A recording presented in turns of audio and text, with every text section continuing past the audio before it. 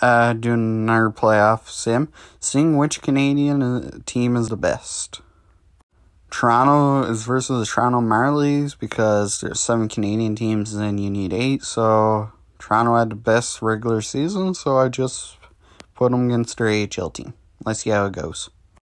Battle Alberta, Calgary takes first game with Lindholm scoring. Edmonton takes the second game with Puljujarvi scoring. Calgary takes the tight third game with Lindholm scoring. Calgary takes fourth game with Anderson scoring.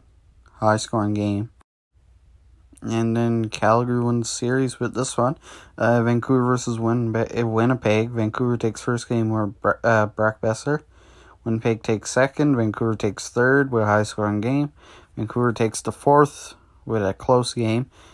And they takes the fifth one and they move on against Winnipeg. Did not expect that. Montreal versus Ottawa. Montreal takes first game. Ottawa takes the second. Montreal takes third. Ottawa takes fourth. Montreal takes the fifth. Montreal takes six. Moving on. Uh, probably know how this one is going to go. Most likely a sweep. It's high scoring game. This is the second round. Uh, Vancouver versus Calgary. Uh, Calgary takes first two games. Vancouver takes third game. Vancouver takes the fourth game. Calgary takes the fifth game. Vancouver takes the sixth game, pushing game seven, and they won. They won against Calgary. What a surprise. Montreal versus Toronto. Montreal takes first game. Toronto takes second. Toronto takes third. Uh, Montreal takes fourth. Montreal takes fifth. And Montreal takes sixth.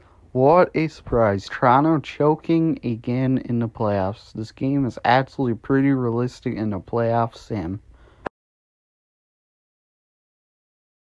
Vancouver versus Montreal final. Montreal's probably going to win it, but Vancouver takes game one. Montreal takes game two. Vancouver takes game three. Vancouver takes game four. Vancouver takes game five. That did not age very well. But good job, Vancouver. Nick Suzuki won most points in playoffs, and Demko won most wins. Uh, see you guys next video.